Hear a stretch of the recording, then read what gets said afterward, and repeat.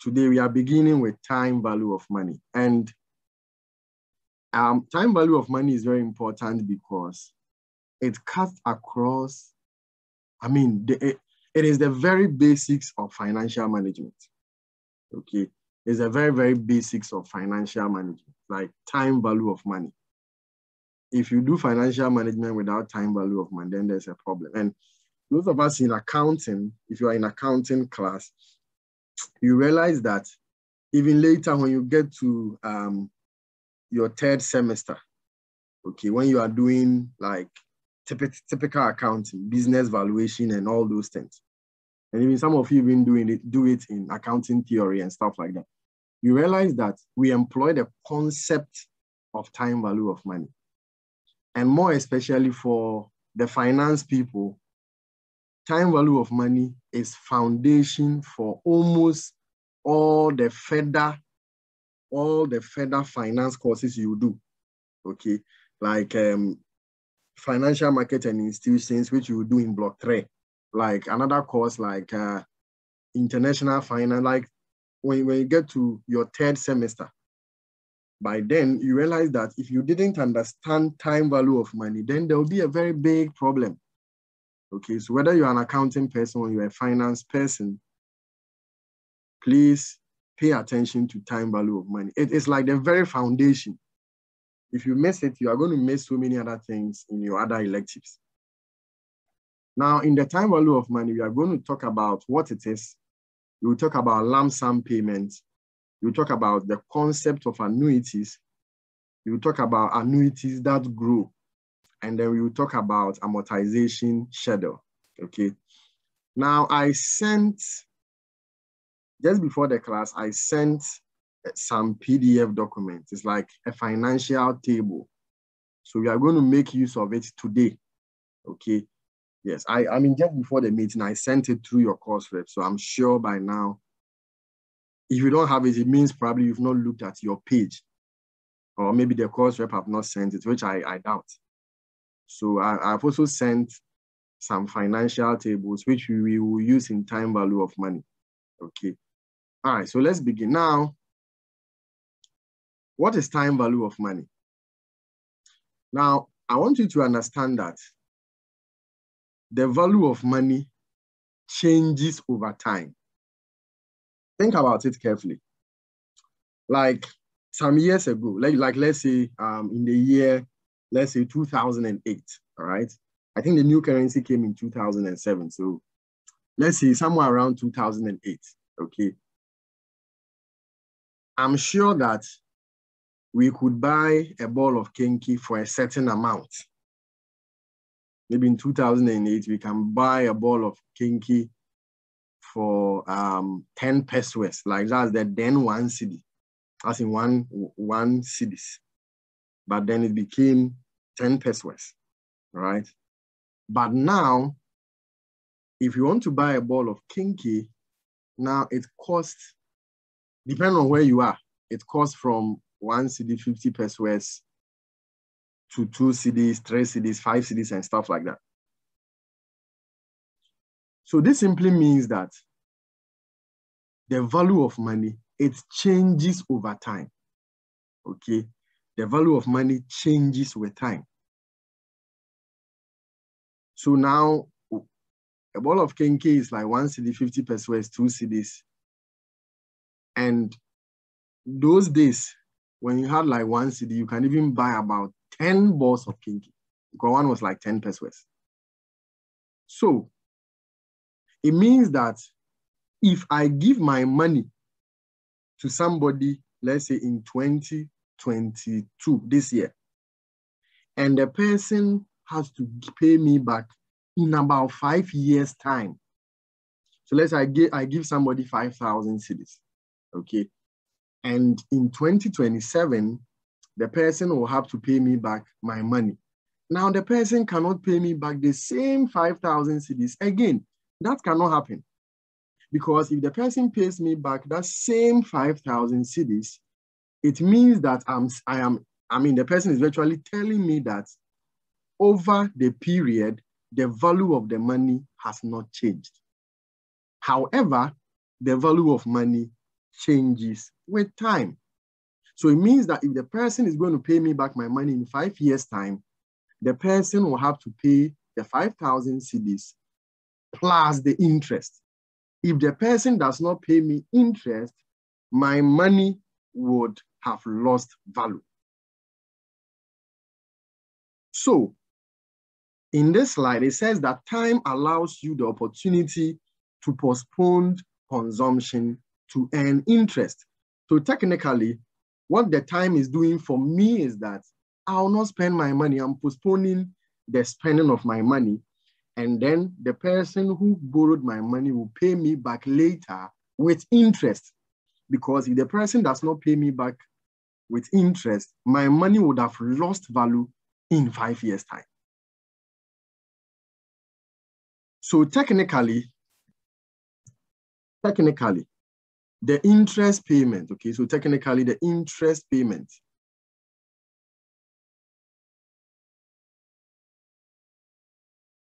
serves as a compensation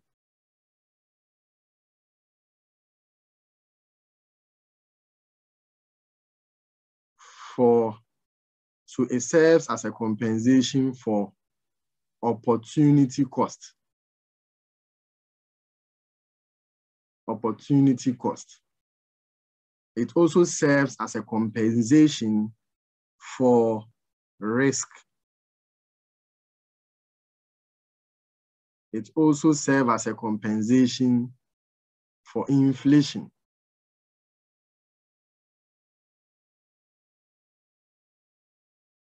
That is why people have to pay interest. Because if I give my money to somebody, okay, I could have used the money for something else. But because I gave the money to the person, there's an opportunity cost. Again, if you give your money to somebody, there's high risk attached to what if the person does not pay? Or the person doesn't pay you back on time? So interest also covers risk. That is why when you are going for a loan at a bank, if they assess you and you are very, very risky, they will charge you high interest. Okay. I mean, that's the irony about going for loans. Some people think that no, that shouldn't happen. But it makes a lot of sense because if you are going for a loan and you are very risky, like eh, when they assess you and then your your your your credit history is very bad, okay, you are very risky, you have to pay a very high interest such that the, the bank can recover majority of the money from you before you, you change your mind that you will not pay. Okay. And also interest rates compensate us for what? Inflation. Inflation. Because your money would have lost value. Now, time value of money simply explains the fact that a cedi today will not be of the same value next year. And what are some of the reasons for that? And I've given you some of the reasons, okay? Because of the risk, if you give your money to somebody because of the risk, because of inflation, and even because of um, opportunity cost. So what does time value of money computation helps us do? Time value of money computations actually helps us to convert the current value into what? Future value. So if I have 5,000 cedis today, okay, and I give my money to somebody, how much must the person pay me back in about five years' time? That is what we call future value, future value. So the concept of time value of money, when we do the calculations, the calculations allows us to convert current value into future values. Okay. And the, and the vice versa also holds. The computation allows us to also convert future value into current value. Okay, that's the other side of the story. It also allows us to convert future values into what? Current value. And some of these things are very practical, very, very practical.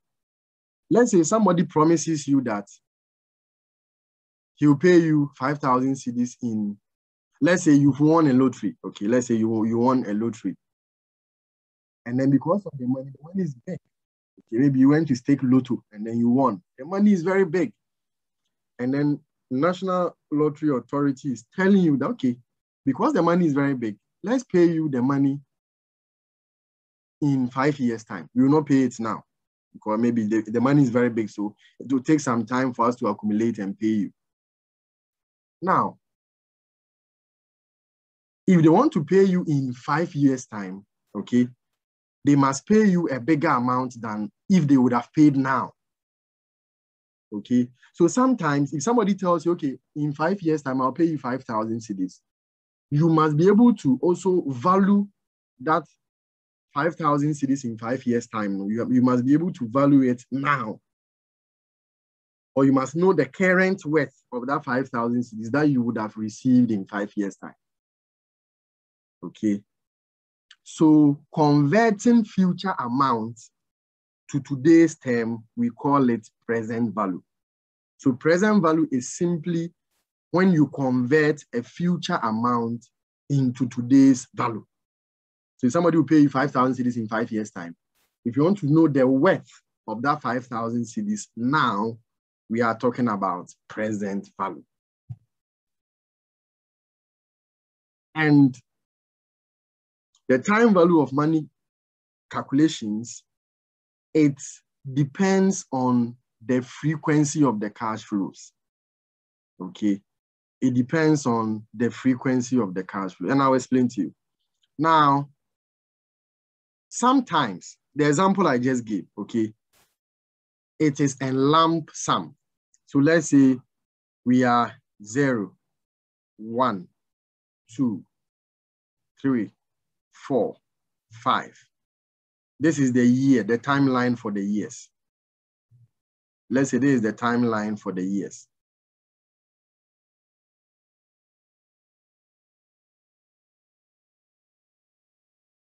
This is the timeline for the years. And somebody wants to pay you 5,000 cedis in five years time. Now learn this from me today. In any in financial management, when we say year zero, okay, we mean now. All right, so learn it today. Anytime you hear year zero in financial management, it means now, like now. Anytime you hear year one, it means in one year time. So we are in um, September 2022, right? So now, now it is year zero. But September 2023 will be year one, as in in one year time from now. Okay. So in financial management, whenever we say year zero, we mean now, like now, now, presently. And year one means one year from now. Year two means two years from now. Year three means three, three years from now, and etc. Now, sometimes somebody can tell you, okay, I'll pay you 5,000 cedis in five years' time. This 5,000 cedis becomes a lump sum. It's a lump sum, it's one-time payment. However, somebody can tell you that, okay, I'll pay you 500 cedis every year. I'll pay you 500 cedis every year. Somebody can tell you that. I'll pay you 500 cedis every year for the next five years. Now, if you look at this, it is different from when somebody pays you 5,000 cedis once. So if somebody pays you 5,000 cedis once, it is called a lump sum. However, if somebody pays you a fixed amount at a regular interval, like the second example I'm giving, 500, 500 cedis every year for the next five years, that concept is called annuity. Annuity. Annuity. So some of you, your salary is an annuity. Like typical example of annuity is our salary. They pay us almost, unless maybe with time you get promotion, they pay us almost a fixed amount at regular interval. And that regular interval is monthly. And those of us that have children, maybe in secondary school or, um, you know, wherever, or maybe universities, we almost always give them an annuity payment every month. So every month we remit some money to them. Okay. Some of you have relatives abroad. They have made it their, you know, their, I mean, they've made it a point that every month they will send you a fixed amount of money. So the key word about annuity is what? Fixed amount, fixed amount at regular interval. So in financial management, when you hear the word annuity, when you hear the word annuity, it means you are being paid a fixed amount at regular interval. It's called annuity. And when we are calculating present value and future value of these things, how we calculate present value and future value of lump sum is different from how we calculate that of annuity. That's why I'm taking my time to explain what these things are. Number three is the concept of perpetuity. So sometimes annuity has, so the difference between annuity and perpetuity is that annuity does not have, sorry, annuities have terminal points. So for annuity, we can receive 500 cedis every year for the next five years. It's an annuity. It has a terminal point. The terminal point is the fifth year. After fifth year, case closed. That's the terminal point. After the fifth year, case closed. But when it comes to perpetuity, perpetuity is a fixed amount as regular interval, but it is forever. So when you see a question that says that, oh, we are receiving 500 cedis forever, it means that we are receiving 500 cedis every year. Okay, sorry, every year. So 500 cedis every year forever. What it simply means is that it is not an annuity. If an annuity, they will say 500 cedis every year for the next five years. Or let's say for the next even 10 years. It has a terminal point. At some point, we have to stop. But when it comes to perpetuity, perpetuity is when you receive a fixed amount at a regular interval, but it is forever. And somebody wondering, how does that happen? There are some financial instruments like that. There are some shares. When you go and buy, the condition is that maybe until you die, or maybe, yes, until even when you die, you even have um, beneficiaries. So until the company fills up, so so far as the company continues to exist, you receive that amount. So when you receive a fixed amount forever, like at a regular interval, but it is forever, we call it a perpetuity. In America, there is some investment product called a consol. We call something a consol. You can just read about it, consol. A consol is an example of perpetuity. It's an investment product that allows you to receive money forever.